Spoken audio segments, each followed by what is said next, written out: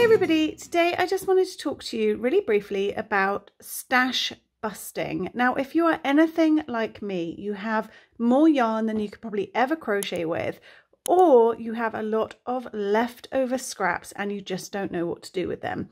So I just wanted to show you my current scrap blanket that I'm working on. Now, it has got all sorts of yarn in here. I've got sparkly yarn, I've got some sequin yarn. I am just throwing some more sparkly yarn. Any yarns I have, just throwing them all together in this blanket. Now this blanket is A, huge, and B, really quick to work up.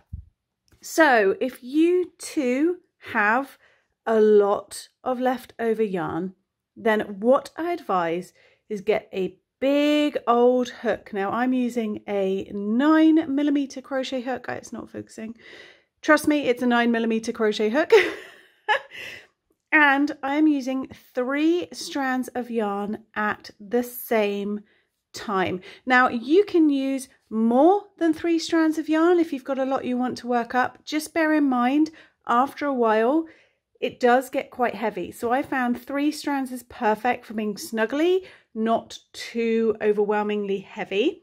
And a 9 mil hook works quite well for me, but you can use whatever hook size you like and however many strands of yarn you like.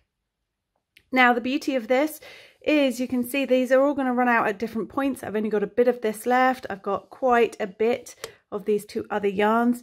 I join in my next colour when one strand runs out, I join it in with a magic knot. Now I've got a video on how to do the magic knot in my description box down below. I've linked to that one there. But the quickest, easiest way to use up your stash, multiple strands of yarn at the same time held together worked as one. Now the reason I wanted to do this video, less about the actual blanket. This blanket itself is just half double crochet stitches.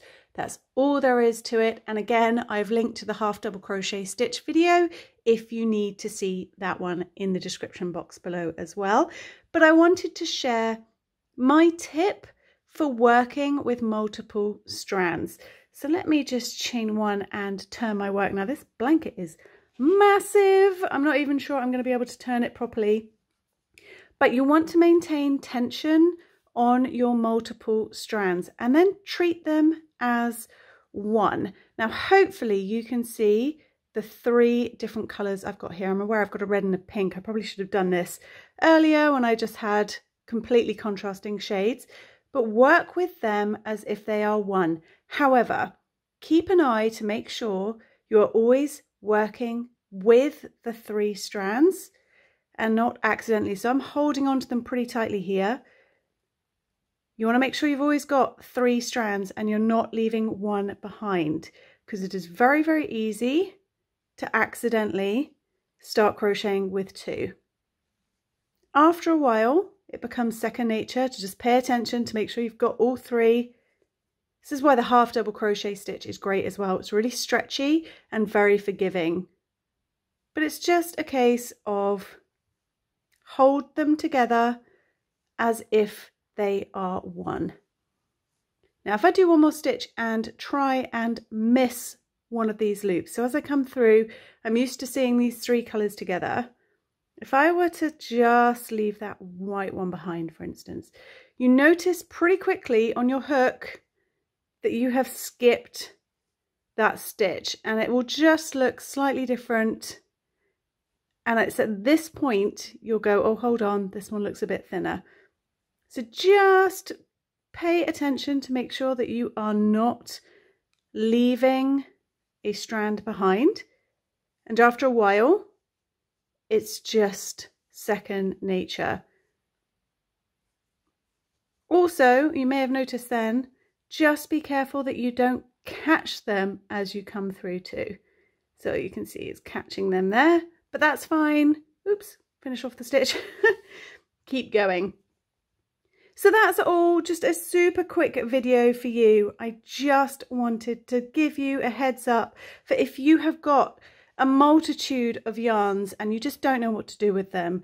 The half double crochet stitch multiple strands at the same time, just change colour whenever. So ugly scrap blankets, which often are not, they're not ugly at all. I mean, this started off fairly ugly, to be fair. It wasn't, you know, the greatest, but I love scrap blankets. I honestly think they are my favourite thing to make. You never know how they're going to turn out.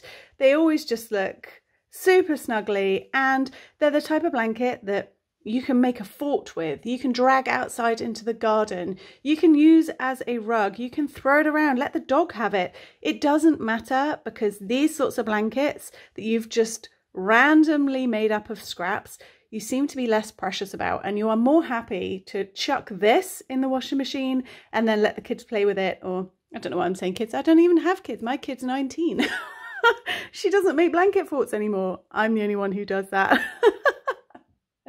but these blankets are great they use up a ton of yarn you're less precious about them so you're more happy for them to actually be used and yeah I think we should all make more great big squishy scrap ugly blankets in our lives.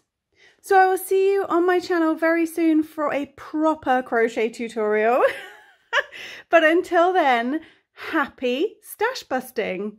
Bye!